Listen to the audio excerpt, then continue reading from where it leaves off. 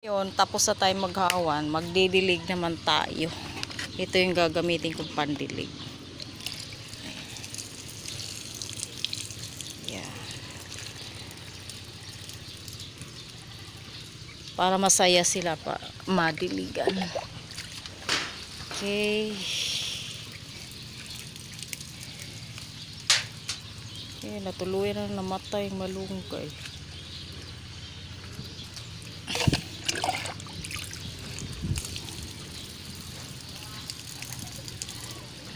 Binubundok-bundok ko yung lupa.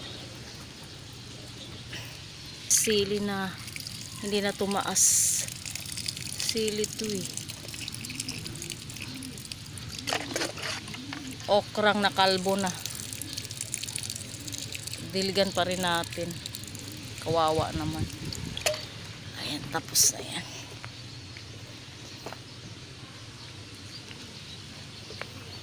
So, yan.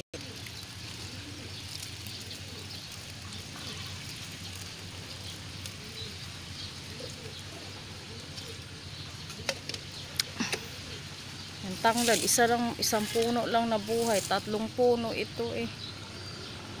Isa lang na buhay. Tayo kukuha ng water.